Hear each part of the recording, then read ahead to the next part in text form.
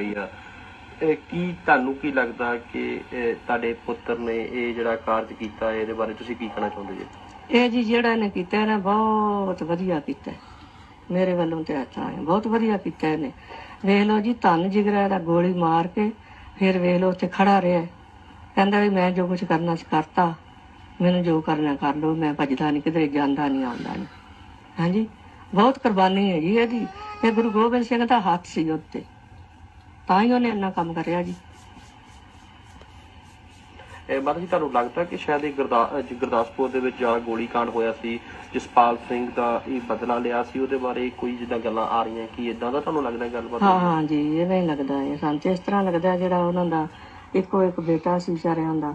ਮਾਂ ਪਿਓ ਬਿਰਧ ਨੇ ਉਹ ਵੇਖ ਲੋ ਰੋਂਦੇ ਕਲਪਦੇ ਨੇ ਉਹਦਾ ਬੇਟਾ ਮਾਰਤਾ। ਹਾਂਜੀ ਇਹ ਬਦਲਾ ਉਹਦਾ ਕਹਿੰਦਾ ਸੀ ਮੈਂ ਲੈਣਾ ਹਾਂਜੀ ਉਹਦਾ ਬਦਲਾ ਲਿਆ ਜਿਹਨੇ ਪਹਿਲਾਂ ਸਾਨੂੰ ਨਹੀਂ ਇਹਨੇ ਕਿਹਾ ਤੇ ਜਾਣੀ ਹੁਣ ਪਤਾ ਲੱਗਦਾ ਜਿਵੇਂ ਜਿਵੇਂ ਵੀ ਕੋਈ, ਵੀ ਉਹਦਾ ਬਦਲਾ ਲਿਆ ਇਸ ਤਰ੍ਹਾਂ ਕਰਿਆ ਇਹ ਸੀ ਸਾਡੇ ਨਾਲ ਉਹ ਪਰਿਵਾਰ, ਕਿ ਜਿਹਦਾ ਤੁਸੀਂ ਦੇਖ ਸਕਦੇ ਕਿ ਪਰਿਵਾਰ ਹਾਲਤ ਤੋਂ ਆ ਬੇਸ਼ੱਕ ਜਿੰਨੀ ਮਰਜ਼ੀ ਮਾੜੀ ਹੈ ਪਰ ਗੁਰਸਿੱਖੀ ਕਾਇਮ ਹੈ, ਬਰਕਰਾਰ ਨੇ।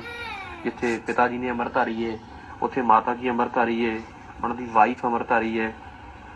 ਬੱਚੇ ਗੁਰਸਿੱਖ ਨੇ ਕਿ ਸਾਰਾ ਪਰਿਵਾਰ ਬਹੁਤ ਚੜ੍ਹਦੀ ਕਲਾ ਦੇ ਵਿੱਚ ਹੀ ਜਿੱਦਾਂ ਮਹਾਰਾਜ ਜੀ ਦੱਸ ਰਹੇ ਸੀ ਕਿ ਸਾਨੂੰ ਕੋਈ ਵੀ ਅਫਸੋਸ ਨਹੀਂ ਹੈ ਕਿ ਸਾਡੇ ਪੁੱਤਰ ਨੇ ਗੁਰਦਾਸਪੁਰ ਦੇ ਵਿੱਚ ਆ ਕੇ ਉਸ ਅਹ, ਸ਼ਿਵ ਸੈਨਾ ਦੇ ਬੰਦੇ ਨੂੰ ਗੋਲੀ ਮਾਰੀ। ਅਸੀਂ ਸਾਡੇ ਵੱਲੋਂ ਕੋਈ ਵੀ ਕਿਸੇ ਤਰ੍ਹਾਂ ਦਾ ਮਨ ਦੇ ਵਿੱਚ ਨਹੀਂ ਇਦਾਂ ਦੀ ਹੈਗੀ ਕਿ ਸਾਡੇ ਪੁੱਤਰ ਨੇ ਕਿਉਂ ਜਾ ਕੇ ਗੋਲੀ ਮਾਰੀ ਹੈ ਬਿਲਕੁਲ ਤੁਸੀਂ ਦੇਖ ਸਕਦੇ ਹੋ ਕਿ ਪਰਿਵਾਰ ਬੇਸ਼ੱਕ ਬਹੁਤ ਗਰੀਬੀ ਦੀ ਹਾਲਾਤ ਦੇ ਵਿੱਚ ਹੈ ਮਾਤਾ ਜੀ, ਮੈਂ ਤੁਹਾਡੇ ਕੋਲ ਪੁੱਛਣਾ ਚਾਹੁੰਦਾ ਕਿ ਲਾਸਟ ਤੇ ਕਿ ਕੋਈ ਜਥੇਬੰਦੀਆਂ ਜਾਂ ਕੋਈ ਧਾਰਮਿਕ ਲੀਡਰ ਜਾਂ ਸਾਡੇ ਨੁਮਾਇੰਦੇ ਐਸਜੀਪੀਸੀ ਜਾਂ ਕਿਸੇ ਤਰ੍ਹਾਂ ਦਾ ਕੋਈ ਬੰਦਾ ਤੁਹਾਡੇ ਕੋਲ ਮਤ ਵੱਲੋਂ ਜਾਂ ਤੁਹਾਡੀ ਤੁਹਾਨੂੰ ਮਿਲਣ ਵਾਸਤੇ ਜਾਂ ਕਿਸੇ ਤਰ੍ਹਾਂ ਆਇਆ ਹੋਵੇ?